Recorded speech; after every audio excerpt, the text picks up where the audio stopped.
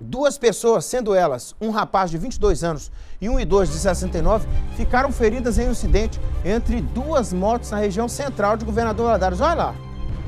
A batida aconteceu no cruzamento entre as duas ruas, né? O sargento Joviano Matina participou da ocorrência. Ele vai contar o que é que aconteceu lá. E próximo ao mercado municipal, houve um acidente de trânsito envolvendo duas motocicletas. Uma, o veículo motocicleta seguia ali pela Israel Pinheiro. E no momento que passar pela Quintino Bocaiúva, surgiu uma outra, outra motocicleta que não obedeceu a placa pare.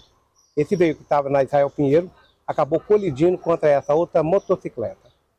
Ambos os condutores caíram ao solo, sendo socorridos até o pronto-socorro municipal. Tá aí o Matina, né?